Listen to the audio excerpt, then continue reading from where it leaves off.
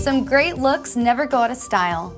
Drew by Noriko is a bestseller for its gorgeous layers and great cut. The overall point cut layers combine to make a bold statement in the short, edgy style.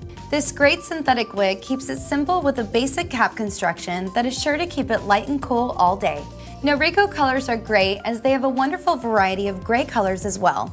I'm wearing mine in color champagne, rooted dark with platinum blonde. Drew is a great wig at a great price. You can't ask for more. Thanks for watching and be sure to subscribe to our channel.